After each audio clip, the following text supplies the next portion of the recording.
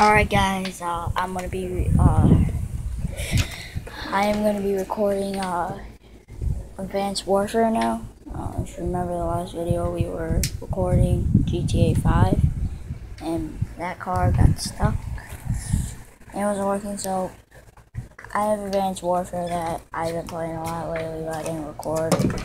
So, um,